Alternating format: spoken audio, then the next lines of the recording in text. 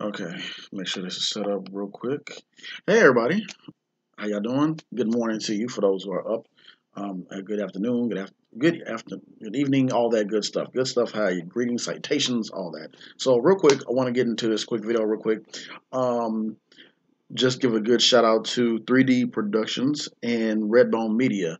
Uh, they were pretty much the ones who gave me my very first IMDb credit and I had to set up my IMDb page now that I think about it. But uh, the film, short film, it's 10 minutes and 32 seconds. So put 10 minutes, 32 seconds to the side of your life to watch this little, watch this big but little feature. You know what I'm saying? You know what I'm saying?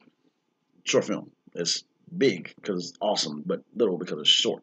10 minutes. And y'all know what I'm talking about. Anyways, I'm so excited. So, this film is called Choices. Um, it's a fictional story based on the true events relating to the 1969 assassination of Fred and Mark, uh, Fred Hampton and Mark Clark.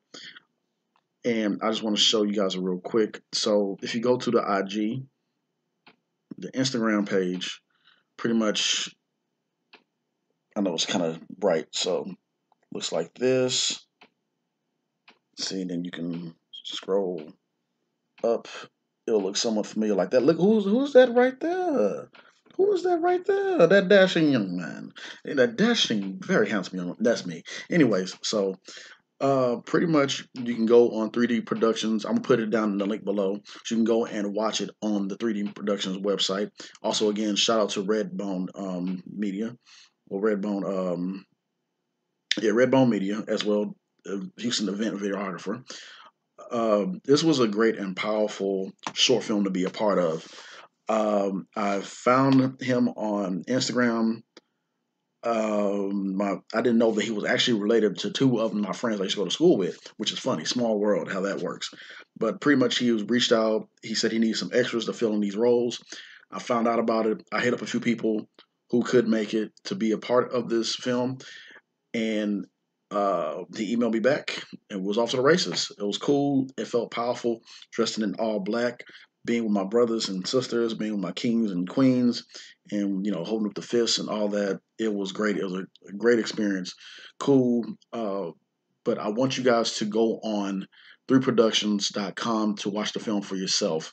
Also, donate as well too um, while you're there, if you can. Anything and everything is appreciative to help out the cause, to help them out. Uh, very good people. Work with them, professional. Had fun on set just for that limited amount of time that I met them hopefully, um, I know he texted me saying that I'll be working with him in the future. I hope I hope so because everything that they done was crisp, nice, cool, and you want to work with some great people that's in this filming industry that are professional but also have fun and are serious about their craft. They are. So, um, if you could please do that for me, I'll be very, very grateful. And thank you all um, for tuning in. And enjoy the short film. Comment below what you think about the film. Does it make you angry? Does it make you sad? Does you know? Does it start so like? Mm. So trust me, when you watch it, you'll just watch the film. Trust me, you'll enjoy it. Um, you'll you'll feel you'll just talk about it in the comments, and we'll have a discussion later on. Until next time, you guys be safe out there, and uh, happy holidays. Have a good one. Deuces.